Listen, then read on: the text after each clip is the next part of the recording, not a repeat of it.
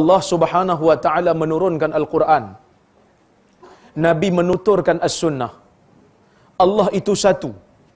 Nabi itu satu. Maka layak bagi seorang insan yang beriman kepada Allah, beriman kepada Rasul, layak untuk dia bertanya, kalau dah Allah itu satu, Nabi itu satu, kenapa perlu ada banyak mazhab? Kenapa perlu ada empat mazhab dalam ahlu sunnah? Buat pening kepala. Kalau ada satu mazhab, program malam ni pun tak payah dibuat.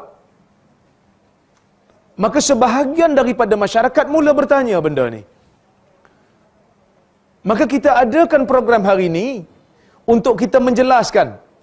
Pertamanya, Allah Subhanahu wa taala di dalam Al-Quran dalam banyak ayat menyuruh umat ini berfikir. Dalam banyak ayat Allah memerintahkan setiap insan untuk menggunakan akal yang telah diberi. Bahkan Allah mencela golongan-golongan oh.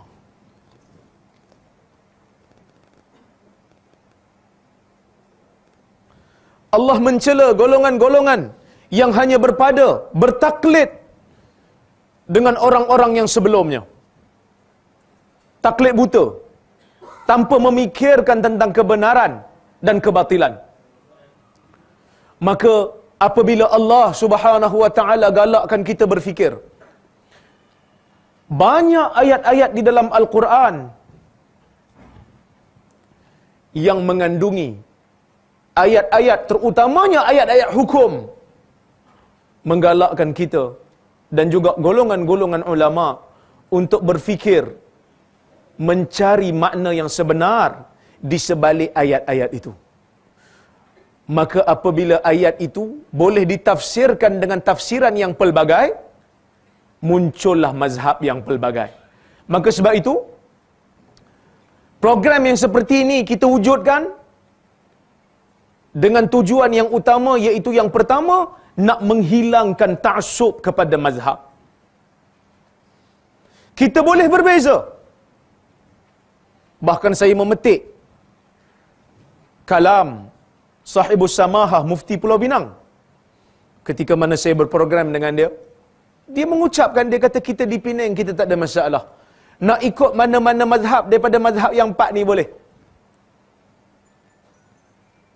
Tidak kita menyesatkan orang yang mengikut Abu Hanifah. Tidak wajar kita menyesatkan orang yang mengikut mazhab Malik. Tidak wajar kita menyesatkan orang yang mengikut mazhab Syafi'i. Tidak wajar juga kita menyesatkan apatah lagi mengeluarkan daripada ahli sunnah wal jamaah bagi mereka-mereka yang mengikut mazhab Ahmad bin Hanbal ataupun mazhab Hanbali. Ta'sub mazhab bukan bermakna tak boleh ikut mazhab. Jangan misquote saya. Jangan salah quote. Saya tidak pernah mencela orang yang mengikut mazhab. Tetapi kita tidak bersetuju dengan orang yang ta'sub kepada mazhab. Apa maksud ta'sub?